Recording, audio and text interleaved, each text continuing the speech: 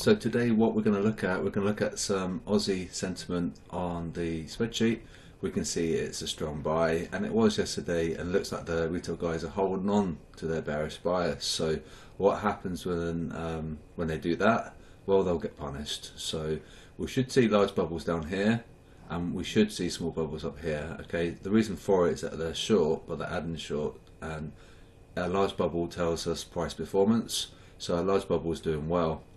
So if they're short and they're adding short and we're seeing a large bubble, then basically they're getting punished. So um, they're short pound, but then they're getting paid. So that tells me to be a little bit careful the pound, and euro could be a bit smaller. So just um, just a little bit of logic there, contrarian logic, that if they're short and they're adding, they should get punished. If they're long and they're adding, they should get punished. So that should be smaller because they're long. That should maybe be a bit larger, that's an okay size because they're short. And remember the bubble size indicates price performance. And so let's have a look at the FXCM.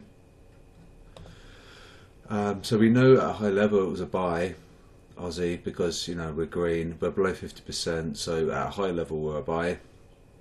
And likewise for AJ, um, we were a buy. We have been for a long time. Now what you could do, you could use the 21 moving average and uh, you know when you get a crossover of the SSI line to the 21 moving average, you can get a decent idea about price direction. So uh, admittedly we did go sideways quite a bit, but this is probably anticipation of the RBA and um, they went long and then they shorted it just prior to the announcement and then boom up he went. So they shorted it on its way down and it looks like they might be going ever so slightly long. If they do this could be a little bit of a top in indication but as long as um, we, we remain below that 21 moving average you'd hold on to your trade. That's that's the bias. Until that line crosses the 21 you'd hold on. Um, so we can't really let this rip and this basically tells us um, you know it's like a bit of a liquidation event of the retail guys and it's testing their resolve. We have to remember that the SSI line is not your typical indicator, it's emotional fear and greed indicator. So when you see this coming up, that's greed, and when it's coming down, it's fear.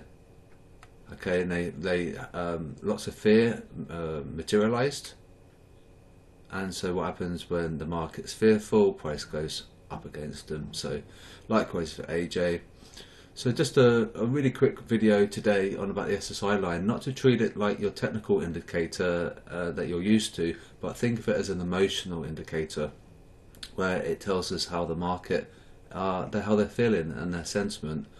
Uh, so, you know, hopefully that makes sense. And uh, remember to get a copy of this, it's really, really, really good. Let's look at the US 500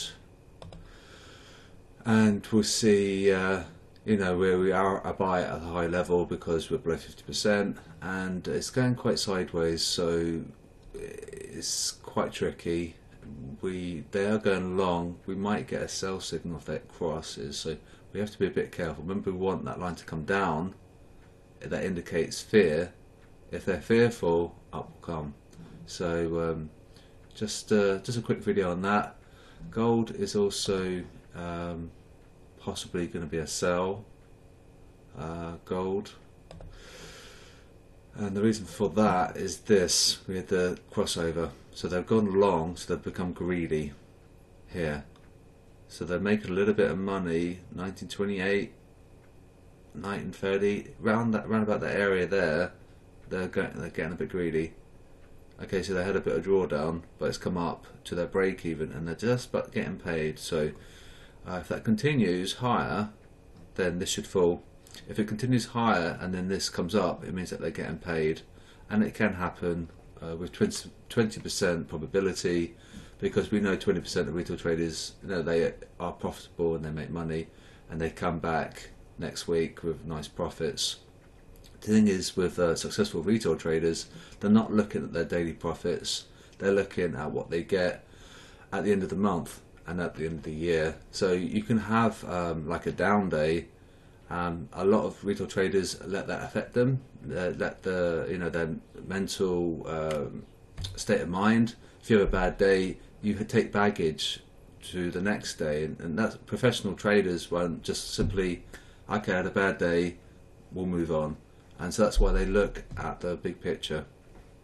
Um, so that's just something to bear in mind. They've got like an emotional baggage that they take, but we have to remember that you do have like the occasional down day. You can't be profitable every single day. It's just it's unrealistic. So it's possible that they might get paid on this gold move, uh, but I don't think it's going to last for very long.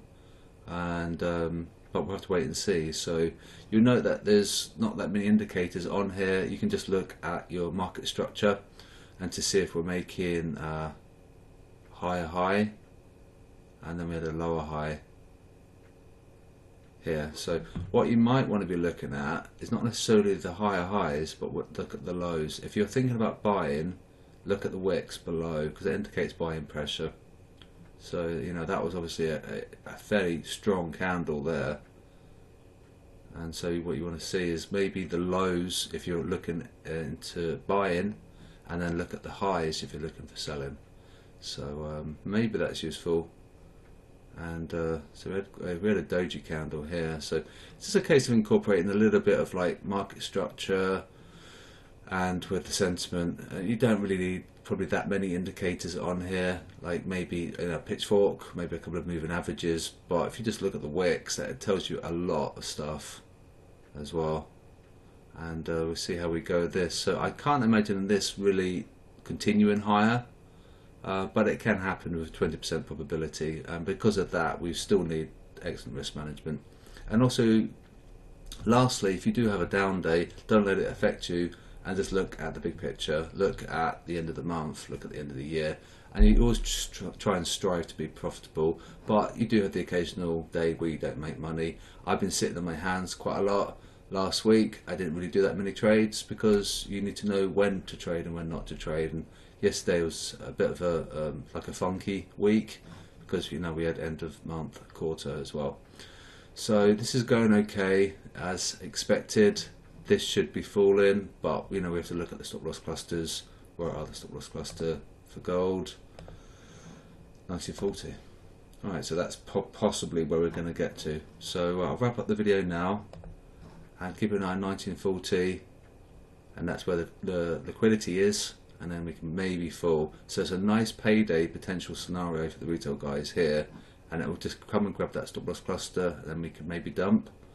So we'll have to wait and see. So um, trade carefully, know where your exit is. Say for example, if you want to go long gold, you'd probably look at that wick here, just a little bit below perhaps, and you know just trade sensibly, and you should be fine. But really, this should be falling. So we'll have to wait and see.